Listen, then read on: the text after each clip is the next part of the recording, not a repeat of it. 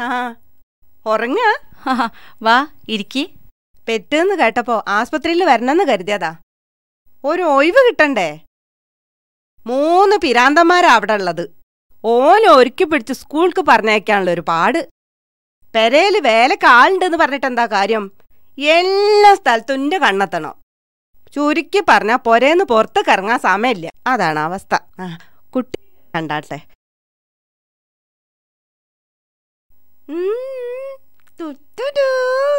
അല്ലോ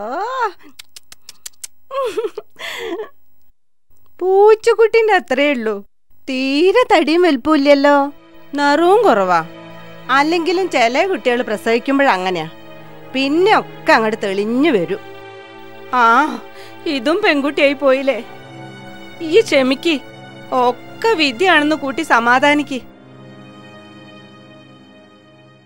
മുതലുണ്ടെങ്കിൽ തരക്കടില്ല ഇതിറ്റിങ്ങളൊക്കെ കെട്ടിച്ചു വിടണ്ടേ? എനിക്ക് പിന്നെ അങ്ങനത്തെ ബേജാറില്ല. മൂന്ന് ആൺകുട്ടികളാണല്ലോ. അല്ല ഈ മൂപ്പരോട് കാര്യങ്ങളൊന്നും പറഞ്ഞില്ലേ? ആരോട്? അന്റെ പുതിയാപ്പളിനോടേ. എന്ത് കാര്യങ്ങളെ പറ്റിയാ ഈ പറയുന്നത്?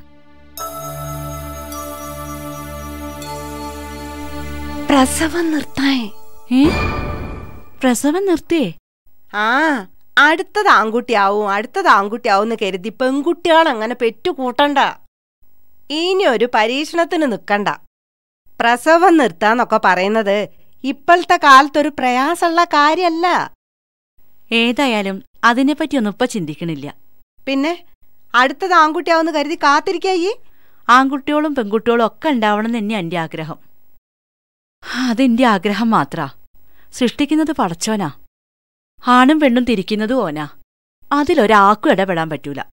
പള്ളയിലുണ്ടാവുന്നത് മുതൽ പ്രസവിക്കുന്നത് വരെ ഇതിനെ ഒരു ആൺകുട്ടിയാക്കി തരണേന്ന് ഞാൻ പ്രാർത്ഥിക്കാറില്ല. ആണായാലും പെണ്ണായാലും ദുനിയാവിലും ആഹ്റത്തിലും ഹൈറാക്കി തരണേന്ന് മാത്രമേ ഞാൻ പ്രാർത്ഥിച്ചിട്ടുള്ളൂ. അങ്ങനെയാണ് ഞാൻ എന്റെ മക്കളെ പോറ്റുന്നതും. ഇനിയുണ്ടാവുന്നതും പെണ്ണാണെങ്കിൽ അൽഹംദിനില്ലാന്ന് മാത്രമേ എനിക്ക് പറയാനുള്ളൂ. ഞാൻ എന്റെ വിഷമം കണ്ടിട്ട് പറഞ്ഞെന്നേ ഉള്ളൂ. എന്നോട് ഇഷ്ടക്കേടൊന്നും തോന്നണ്ട. ഞാൻ പോട്ടെ. ചെന്നിട്ടൊരു നൂറ് കൂട്ടം പണിയുണ്ട്.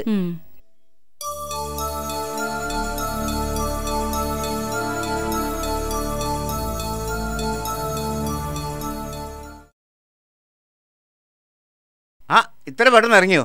ഞാൻ ചായ ഉണ്ടാക്കാൻ വരേനും ആ ഇനിയിപ്പോ ചായയും കൂടി ഉണ്ടാക്കുക. ഇപ്പൊ തന്നെ പെണ്ണുങ്ങൾ എടുക്കേണ്ട പണി മുഴുവൻ നിങ്ങൾ ഒറ്റക്കല്ല എടുക്കണത്? വീട്ടിലെ പണിയൊക്കെ ആർക്കും എടുക്കാലോ? ഇണ്ടാടെ ഉണ്ടല്ലോ ഒരു മനുഷ്യൻ. വീട്ടിൽ ഒരു പണി മൂപ്പർക്ക് അറിയൂല ഞാൻ ഇതുവരെ ഒരു പണിയൊട്ട് എടുപ്പിച്ചിട്ടുമില്ല അലവിക്കുട്ടിന്റെ ഭാഗ്യം.